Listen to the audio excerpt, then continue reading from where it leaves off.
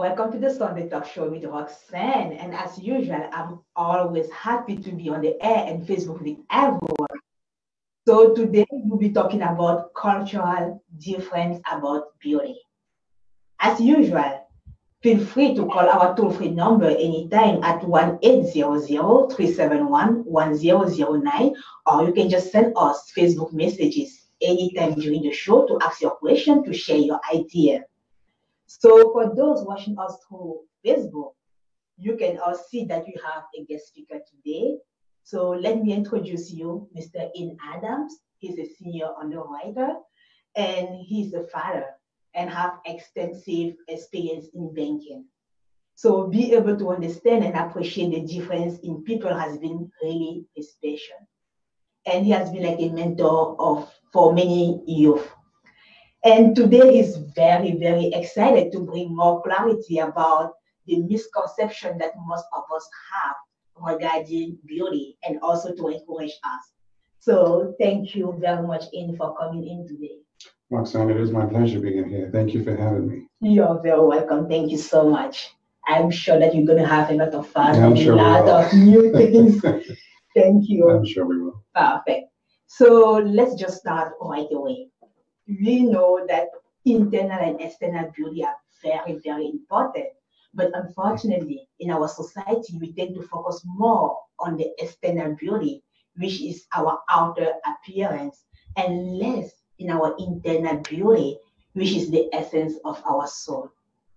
So let us know that internal beauty is more stable and it actually defines someone's characters. Uh, while the external beauty is more unstable because it changed throughout time. It changed depending on the culture. It changed depending also on the people.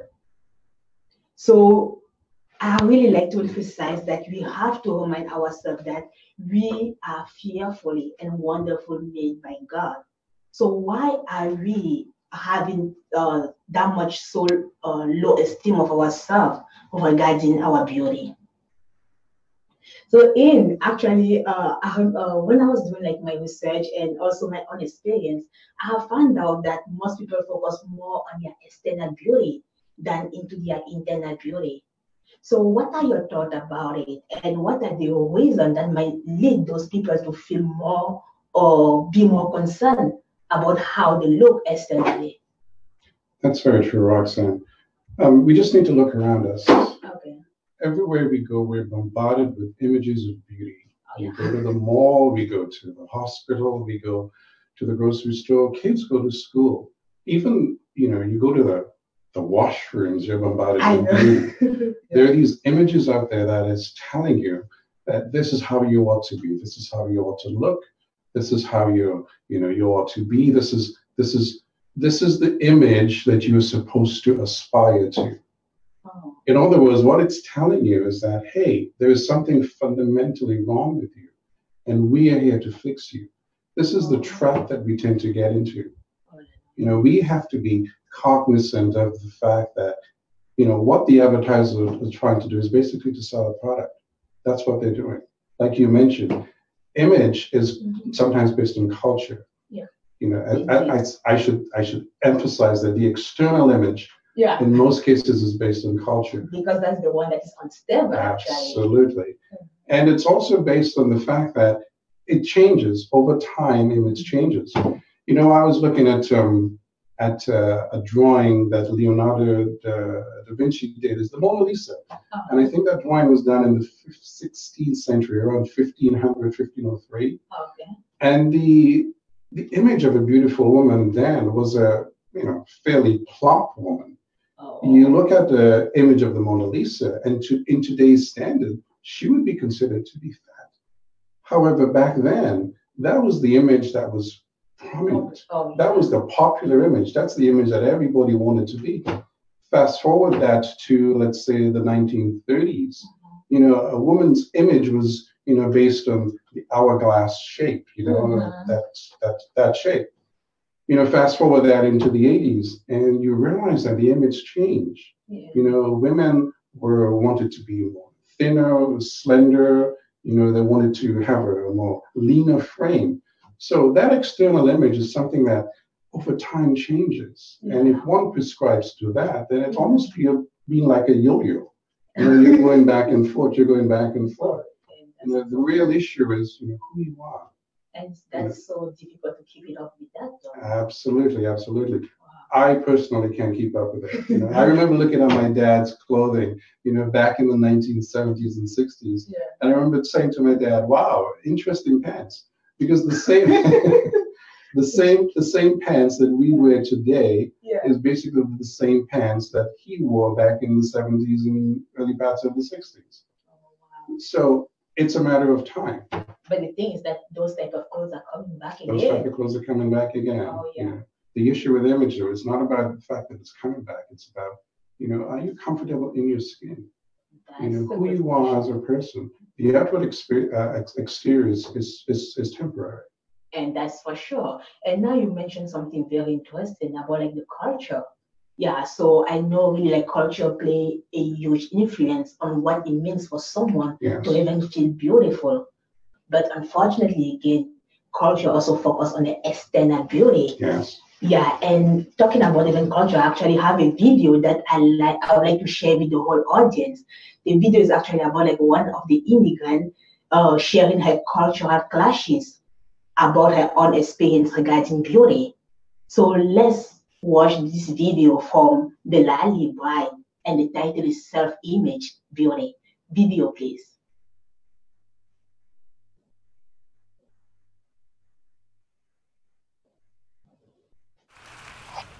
What if up was down?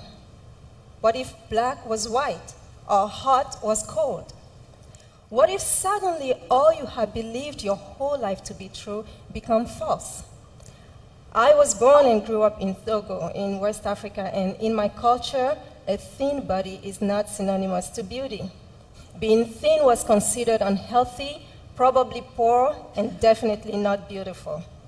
As a teen child, I suffered endless negative remarks from family and friends. I was bullied at school because of my size, and home was no relief. I remember my parents submitting me to interrogation sections in order to find an emotional or psychological cause to my weight.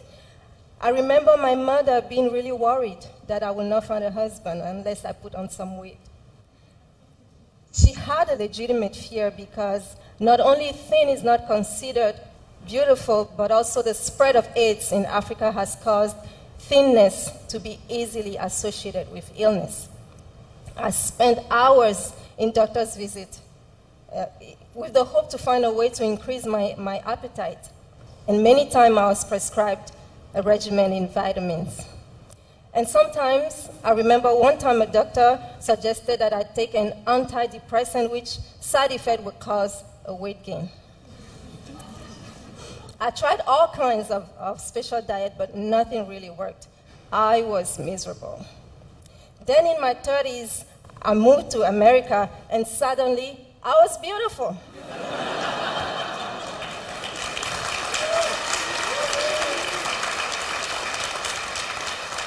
What was once a negative has become a positive. What was looked down upon is now praised.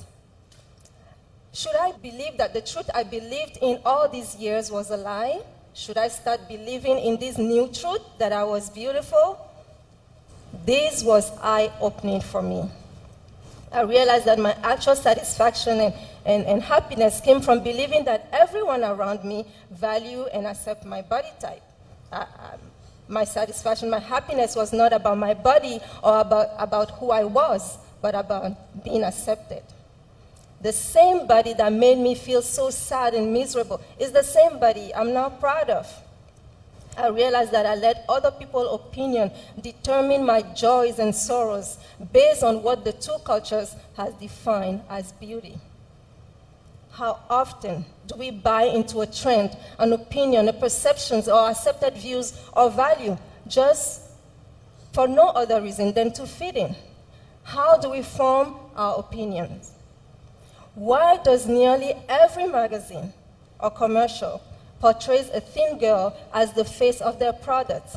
Why are there nearly 500 million results generated by the Google search simply by typing in the words weight loss. I'm a proud mother of two girls, Elta and Odia, and my hope for them is that they will never let any cultural standards or prejudices stain the way they feel about their self image. I feel it's important for all of us to realize the role that people around us play into how we form our opinion and how more often our values are affected by the swings of this changing society. I, I believe that being aware of this will affect our well being, personal development, and positively impact the way we treat others. Thank you. What? Oh no, I have suspicious activity on my credit card. You know, with BMO, you can just text them back. Wow, wow, it, that is really like it clashes that many of us experience within, uh, even within the same country. Yes. Like I mean, like in Cameroon, for example, you have like 253 tribes, and uh, moving from one tribe to another one, you they have like a different way to define beauty. So many of us like experience that, and it become even like more difficult, or the difference become even more larger when you leave your country and move to another country. Wow. So what are your thoughts regarding the video? In Interesting video. Uh, when I saw that video, I thought about us here in the Western world. yeah, You know, our focus is, you know, trying to be thin, trying to fit into that model type mold.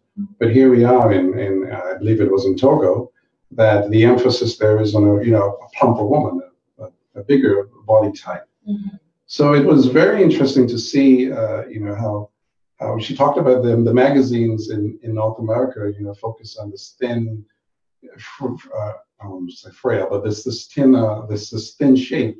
It would be interesting to see uh, what the what the the marketing is is like in in Togo. Mhm. You know, if the magazines would have plumper or fuller type bodies. Oh, something You know, have to check. that video, you know, it, it tapped on quite a few things. It's psychological because she was Oh, she was to the point where her her, her parents thought that there was something you know fundamentally un, mentally unstable with her. The fact that she was she was she was presented to a physician, to a doctor, oh, to try and figure out you know what exactly is wrong. You know, that's taking it to the extreme. And Yes. you know, flash forward to the Western world, that's Mhm. exactly what we do here as well, because we take beauty to the extreme. You know, women and men do plastic surgery. We want to improve our faces. We want to improve, you know, just the exterior. One person comes to mind when I think about that. I think about Michael Jackson. Mhm. Oh, And uh, it's funny, you know, you look at Michael Jackson, you know, when he was an upcoming uh, a pop star back in the, the early uh, 70s, Mhm. and you look at Michael Jackson today, and it's really difficult to to to identify that hey, this is this is one and the same person yeah. because his image has completely changed, Oh, yeah. completely changed. yeah. So you know, it, it goes to say that that you know what we were talking about there in terms of time. Mhm. You know, it, less emphasis should be placed on the exterior. You know, That's and more sure. emphasis needs to be placed on the on the inner man, on the soul. You know, what do you think of yourself? You know, what makes you happy? You know, it's not about what makes somebody else's happy. You know, what's advertised out there is basically to sell products. You know, there is a there's a product for everything. You wake up in the morning and you don't feel like going to work. There's a product for that. It's the same thing. You know, you wake up in the morning and you look at yourself and you're like, you know, my arms are too, you're too big. I, I need to go to the gym, or you know, I need to have that six pack like you know Brian Gosling, oh, I need to look that, I need to have that hourglass shape like Beyonce. You know, that's just temporary. You know, Yeah. personally, I wake up in the morning and I say, you know what? I'm okay. I'm comfortable with myself. You know, the fact is not about how I look, but the fact is, hey, I woke up. You know, there are more pressing things for me to worry about per se than about my image. But I know it's a little bit different. I'm, a, I'm an older person, and you know, when you're younger, you know, you've got peer pressure and all of that stuff. But hey, you know, if you're grounded in who you are, then you know, image is just for me, it's just a temporary passing. Not that I don't look at myself and you know don't try to improve, Mhm. but for me, it's just temporary. I see. And I do like the fact that you said it's actually psychological. So it's something that I really want to emphasize because it's so hurtful that your loved ones are the one worrying of your of, because of your beauty. And if you worry like that yourself, you end up worry yourself and end up like uh, say like, oh, really, I'm not really beautiful. Yes. And that's what was happening in the video with the lady. So really, my advice would be that as a parent or as a friend or as uh, someone close to other people, we really have to be mindful of our words because it really can. It can make a difference in someone's life. It can change even how people think about themselves. Does. So yeah, it's very important to be mindful about that, right? it is. Yeah, and I just want to know, don't you think that is also like when you focus more on the external beauty, it, it means like we are kind of like people pleaser, or you think that is actually, um, I mean like probably like in in Africa, like the video that we just saw, it was about Togo, right? Do you think that like the parents they were worried more about like what people were thinking outside, or they were genuinely worried about how she looks?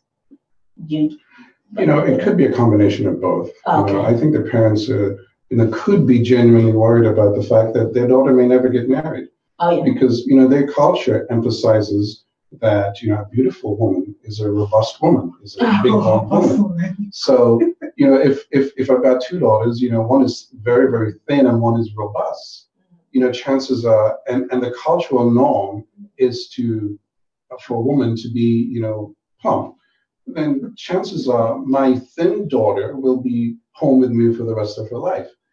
As a parent, that's not necessarily what you want. So I'm thinking, they were also thinking along those lines as, as well. You know, my daughter needs to fit the societal norm to be able to go out into the world and and, and, and, and make her own life for herself. You know, she mm-hmm. needs to be attracted or attractable to a certain to a certain man. Mhm. And being plump, you know, that's the flavor of the day, that's the culture. So, you know, that's what was pushed and that's what was emphasized. That's what they believed. That's what they thought was the right thing to do. Oh yeah. Okay, I see. Oh wow, thank you for your answer. And also, like when we're talking about beauty, we tend to always just focus on women, or like okay, women's women change and everything. But I do believe that also men are so concerned about beauty also, and some men might be even having that low low self esteem of themselves.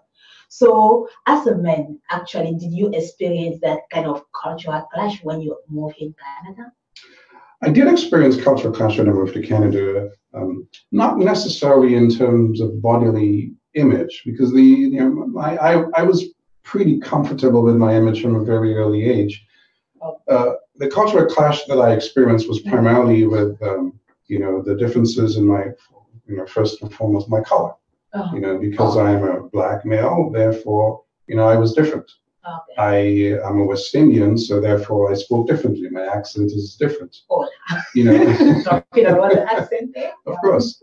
And uh, and and typically my you know my general understanding of the world was was somewhat different. You know, I I tend to be a little bit more more practical, Okay. more if you want to say fundamental. Mm. You know, than than than being more open. So those are the cultural clashes in which I had. Mhm. And uh, at a very early age, it was it was it was, it was pointed out to me that hey, you know, you are different Okay. and uh, and if you want to survive in this society, if you want to survive in this world, you have to assimilate. You have to be more like us. Oh, You know, good. Everyone good has to correct. yeah. Everybody has to be in come into the melting pot. Canada is a melting pot. That's It's a melting thing. pot in many different areas. You know? Yeah. But you as an individual as well, you need to choose Mhm. as to whether or not this is really the type of melting pot that you want to be in. You know, when it comes to your body image, is that really where you want to go? Is that how you want to be? That's a choice that the individual needs to make. You know, I chose to retain and to keep my identity, Mhm. to stand firm in what I believed in, stand firm in my culture, in my morals, and in, in my norms. And that has sustained me throughout my life. Oh. And that's something that I impart on, on, on, on anyone that I speak with. You know, differences, being different is not a bad thing. Being different is quite good. Oh, that's You know, we can't all be the same. God never made us to be the same. That's why we are Right. all unique, Right? We're unique. Oh, We're made in His image. We're unique, but we're all different. perfect. Just imagine if we all had to be the same. We wore the same dresses, we spoke the same language, we ate the same food. You know, there wouldn't be any need for diversity. I see. Oh, that's good. So everyone has to remember that we are all unique and we have all everyone has their own criteria. So yeah, so just embrace the difference that you uh, you have in you that that is actually different from someone else. So Yes. thank you so much. And in like actually throughout like our discussion, I can notice that those cultural clashes or even having that low self-esteem of ourselves that we experience are mainly due because we focus so much in our external beauty. Yes. But I believe that uh, that unfortunately, like when you just focus on the external beauty, we will end up always be prisoner of ourselves, and that's not really good. So my advice would be that we have to also lean into focusing on the internal beauty, right? Yes, definitely. You know what? Internal beauty makes a person beautiful. Yeah. It really does. You know, internal beauty is long lasting, it's not temporary. Okay. Internal beauty is what actually makes people fall in love with you. Okay. You know, when two perspective, you know, mates see each other, yes, you're attracted to the physical, but that's just a physical attraction. What really makes me or makes you or a man or woman for that matter fall in love with each other, Mhm. it's not necessarily what's on the outside, but it's what's really here. But that's It's not what's what on the inside. but that's not what many women think though. They actually like I have like talking with some women, right? And they were like, oh no. Uh, nowadays, like men, they prefer a woman to be this type of shape or this kind of skin color, and that's why they lean to do in order to be more attractive. So, what's the advice that you have to give out there for all, all those ladies? You know, the advice is everybody has a preference in terms of what they like. Okay. What attracts you, that's what you gravitates to. Mhm. If you're a man or woman who likes a, a thinner shape frame that that's attractive to you, then you go after that. If you're a person who likes a plumper, heavier frame shape, then that's perfectly fine. Okay. But at some point, Mhm. you have to, I wouldn't say ig- ig- ignore, but you have to go beyond that exterior image. Oh, And you have to look into the Mhm. person's soul. You have to look into the person's, you know, character. Mhm. And that's what really makes you fall in love with that person. Mhm. What type of person are you? How compassionate are you? You know, are you a happy person? Are you a, a are you a, a joyful person? Those are the internal. Those are the internal, intangible things that you Okay. don't see on the exterior, Mhm. but those are the things that you need, Okay. you know, to survive. Those are the things that you need in a relationship, in a couple. And when you have those, it, it always stays stable. Actually, Absolutely. it doesn't change when you're moving from one culture to another culture. Right? Absolutely. Oh, not. that's so Absolutely not. Yeah. Absolutely not. So we really have to be working also in our internal beauty. Yes. So like, in like, what advice can you actually give to someone that doesn't feel beautiful because of X, Y, uh, Z reason, and now the person is actually hearing us and want to actually take some step to change their view of themselves. You know, the advice that I give is typically it's self-searching, is you know, try to figure out who you are. Okay. You know, who am I? Identity. Who am I? Okay. You know, you need to know who you are before you can start making changes, you know, to to yourself. you you have to understand me, the man, the inner man. To me, that is that is paramount. You know, Okay. you know that could be grounded in spirituality, could Um, be grounded in faith. Mhm. You know, it could be grounded in culture, it could be grounded in many different things. But you Mhm. first need to identify who you are what's important to you. You know, what brings you joy, what brings you happiness. Mhm. Because, yeah, your beauty temporarily, you know, brings you some joy and happiness. But Mhm. remember, over time as well, beauty fades. That's for sure. Yeah. You know, the way you are when you're 20 years old will not be the same way you are when you're 40, will not be the same when you're 50, will not be the same when you're 60. That's the external beauty that will fade with time. Absolutely. Okay. However, the, the, the, the, the character that you have developed inside, that actually improves, or I I should say, it should improve Okay. as you age. So that is way more important than the exterior. I do agree with you. Oh, perfect. That's so amazing. Yeah. So like in just like in them to be like more practical because you know sometimes like okay this is what you have to do right like oh you have to work on your internal beauty and like okay so I guess like some of us are asking ourselves so how can we like practically work in our internal beauty? So I mean how do you do yourself? for me, I know you're a man. you know, for me, I I I have to give credit to to my parents, to oh. my upbringing, to my background, to my culture, because from an early age it was instilled in me that I am a person of value, I am a person of worth, that you know I am not judged based on my appearance, how I look, or how much money I have or don't have, Mhm. but I am judged on my character. I am judged on how I treat others. I am judged on my outlook on life. I am judged as to whether or not I think the glass is half empty or the half full, or, or the glass is half full. You know, that's what I impart on people. This is what this is what makes me me, and that sustains me throughout my entire life. Mhm. If you don't have that as a person and you're seeking that, I would say, you know, you know, there- there are many avenues to get that. You can speak to your elders, you can speak to your to parents if you're comfortable doing that. Mhm. You can get advice from your from your local church. You can get advice from from you know many many places. Okay. However, that advice should be should be based not on what people see, but basically as to who you are. Try to develop the inner person. Try to develop the inner man, and by doing that, you know you Mhm.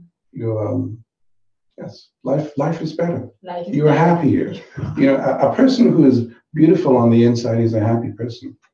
Is a joyful person. Yeah, because that will project outside, That projects right? towards the outside.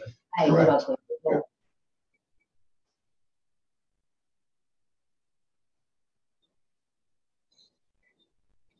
that. Okay. Take it then. Welcome to the Sunday Talk Show with Roxanne. So, how may I help?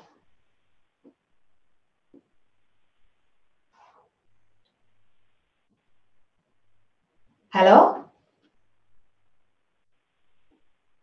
Can you hear us?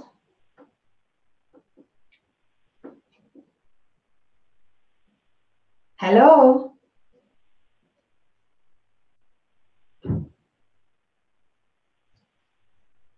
Hello? I'm very sorry, I can hear you guys.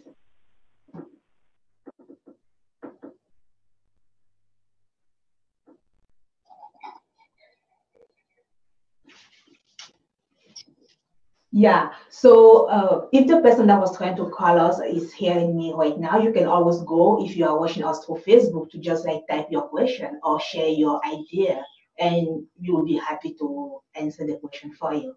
Yeah. So in just like going back again on what you were speaking, like yeah, I do agree that we really have to work on our internal beauty, and something that personally I have been doing, right?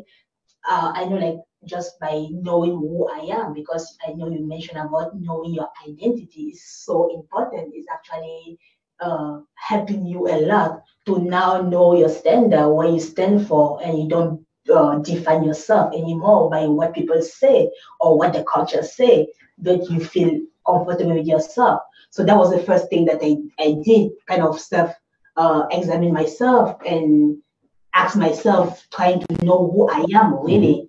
And in order to do that, I know a lot of prayers and reading the words of God actually helped me to know who I am. And the second thing that I did is actually uh, I sat and I kind of write my weakness and strength because that is also very important. Weakness might be something that people have tell you. They can like, oh, you have to work on this side of your life or in this side or this type of character and write my strength and now focus more on working on my weaknesses in order to improve. So that's also something that I did. And when we are talking even about um, reading the book of the Bible, I remember reading the Psalm of 30, uh, Psalm 31 about like the woman, like how the, she was walking, the way she was behaving. So that's also something that I have been using in order to uh, try to look like her. So basically, like everyone has to just uh, find out the routine, what works best for them. But again, the most important thing is know who you are, not what people are saying that you are. Very, very important. So yeah. And in and what about like for parents that are actually listening to us? Because I did like what you shared with us that your parents has played a huge positive influence on you, on how you see yourself. So, like for parents that are, are watching us right now, and they, uh, and those parents that have kids, what is the advice that you have for them today? Before I get into that, just let me read off a little bit of stats in which I have here. Oh wow! It says it says 53% of 13-year-old girls don't like their bodies. Oh, no. And that increases to 78% by the time they reach the age of 17. Most models that you see on TV or in advertisements are insecure because they're constantly thinking about how they look. They're constantly thinking about, you know, am I beautiful enough? Do I fit this mold? Am I this the right size? Am I, you know, does my makeup look good? Does my hair is perfect? They're constantly going over in their mind about their image. Mhm. So they're insecure. Only 40% of women identify themselves as being beautiful. Oh, 40% of women So- identify themselves as being beautiful. So where are those sixty percent? those 60% like you know they need to do a lot of self-searching you know and, and some of the the areas of which, you talked about you know self-assessment you know Mm-hmm. you know So analyze important. yourself you know write it down your pros and your cons your your your advantages and you know your strengths and your weaknesses Mhm. you know parents have a very important role to play you know yeah. it's important as to you know what you feed into your child at an early age you know you have to feed positive remarks positive Wow. words into that child Okay. you have to tell the child that they're beautiful no matter what you have to tell the child that society doesn't determine who they are that society doesn't determine you know you know where they go it, it may be an impediment for some but you have to push you have to force you have to you have to continue that Okay. you know i was fortunate enough to get the positive reinforcement you know from my parents especially my mom Mhm. my mom always said to me you have no excuse you have no excuse Perfect. you know what you have to do do it i got that from my aunts and my uncles from my nieces i remember even my principal back in school Oh wow! Even your education. my, edu- yeah, my education my principal reinforced the fact that you were judged by the content of your character. Dr king said that. You are judged not by your outward experience. You're not judged not by how you look. You're judged by here by the inner man the content of your character. And that's what you should be judged at. And that's what parents such as myself needs to be reinforcing into our young ones Mhm. and letting them know that hey it's okay not to be the same as somebody else. It's okay to be you there's absolutely nothing wrong in being you that's how god made you you know sure. god made you you know in his image fearfully and wonderfully made Of course. you know and yeah. that's that's how that's how we that's that should be your outlook on life Perfect. you know that that i am made in god's image Perfect. so who do i who do i strive to be like do i strive to be like you know the, the person that i see on tv or do i strive to be more like god Okay. i choose to strive to be more like god That's for sure. That's for sure. Thank you so much, Ian. And in terms of like uh starting uh like, do we have like a, an age that you have to start reinforcing the beauty identity into our kids? you know kids kids get bombarded with images from a very early age you know So- think about this Yeah. you know uh, a toddler Okay. a toddler knows ronald mcdonald Uh-huh. Before they can speak even their first word. They can identify with that image, the image of McDonald's. Yep. You know, in North America specifically, you don't need to tell a kid about McDonald's.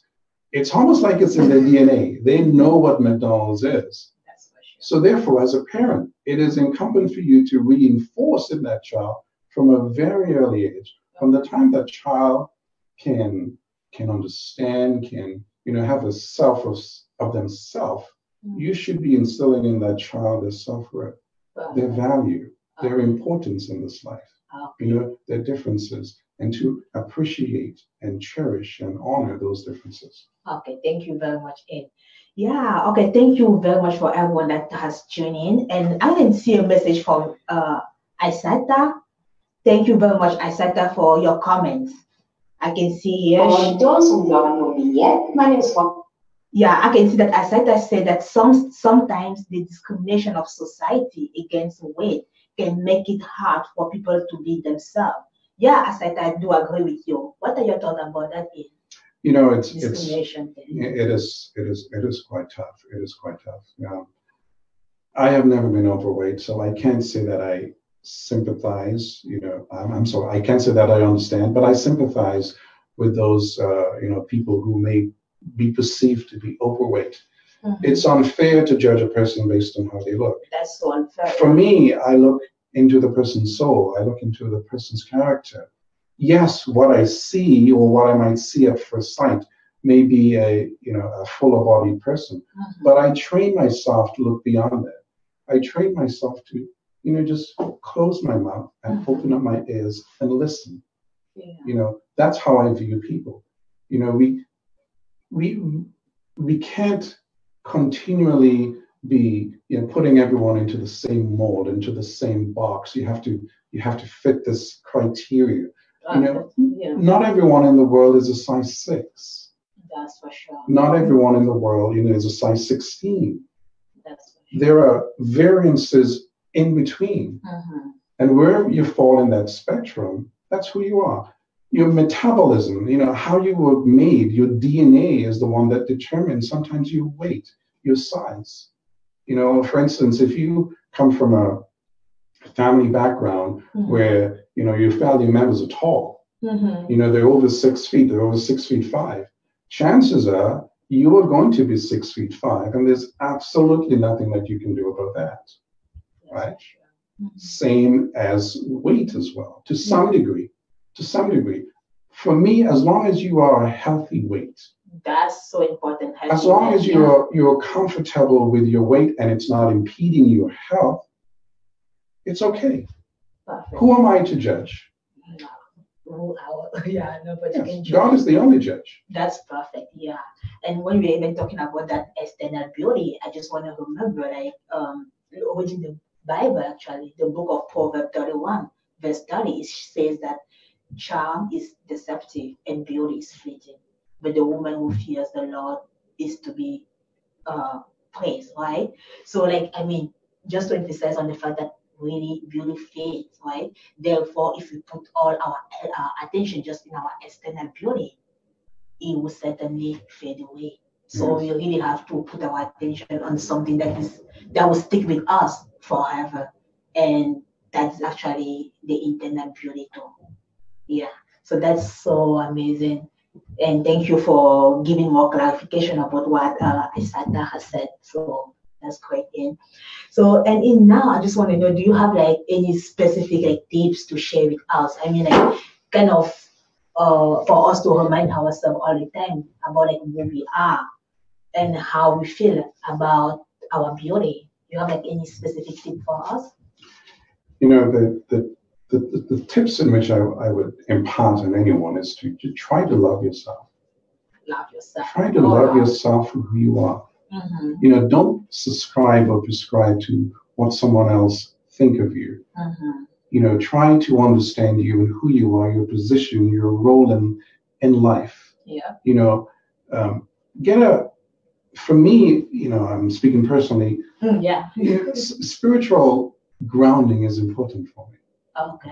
you know because when i go back to the word and i read the word it grounds me Yeah. it, it, it filters out all the stuff that happens around me all the external stuff Mhm. and brings me back to the core you know who am i trying to please am i trying to please men? That's the good or am i trying to please god That's the good question. right and once you answer that question you realize that everything else around you that surrounds you it's null and void Okay. you know your your body image becomes less important and you know your internal image becomes more important okay. you know how you treat others how do you interact with people Mhm.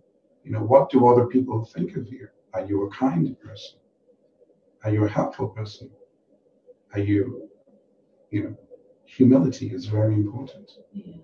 and believe me inner that that inner beauty creates power because once you have that inner, inner beauty you become a powerful person That's for sure. And you become a successful person. Success doesn't necessarily mean money. It's not just a financial thing. Yeah. It's even about like the way you think, Absolutely. your resonate, your wisdom. Yeah. Absolutely, absolutely. You, know, your you, be, behavior. your behavior, you become a much, much more grounded person Yeah. in life. And that's what we all strive to be. We all strive to be better. You know, better, yeah. better, better. Don't get me wrong. As I said, as I mentioned before, the physical is important. You know, I try to go to the gym as often as I can. And the operative word there is try. I don't always do it, Okay. but I try to go. I try to live a healthy life. But I pay less, less, less attention, less importance on my exterior, and more importance in building that inner man, building that inner person. You know, I always impart to my, uh, to my, to my, to my kids. I said, when I die. You know, you know, at my eulogy, I don't want anyone to tell lies on me. You know, I want them to say about the type of person that I really was. You know, and that type of person that I really was does not include my image, how I looked, but what legacy did I leave behind? What did I impart on them and impart on others? That's important. That's very important. Thank you so much, Wow. And what about the people that always try to compare themselves to other other people? Like Compare yourself to God. that's good. That's Compare good. yourself to God. That's good. Love yourself. Okay. You know, Beyonce will pass. There will always be another Beyonce. You know, Michael Jackson will pass. There will always be another Michael Jackson. You know, Brian Gosling will pass. There will always be another Brian Gos- Gos- Gosling. You can't be like a yo-yo going back and forth. You have to be grounded. You have to figure out who you are. Okay. That's good.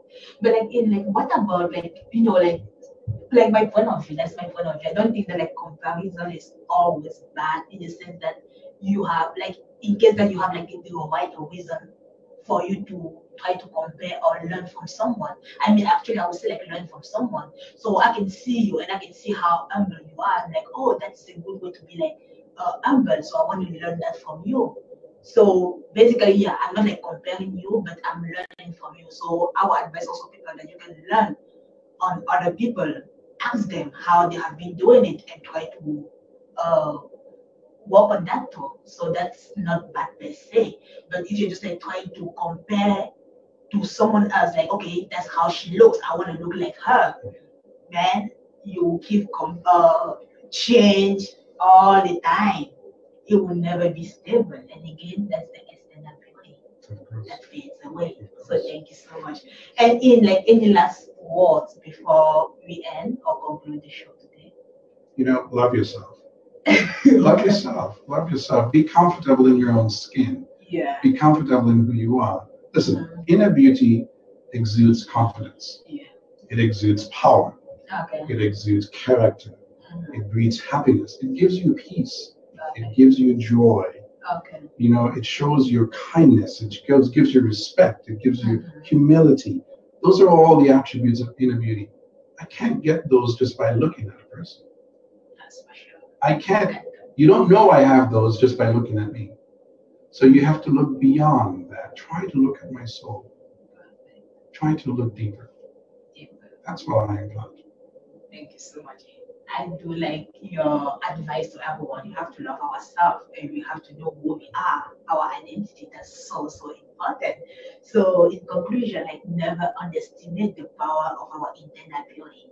Like beautiful, uh, beauty is an internal matter and actually is projected from inside out.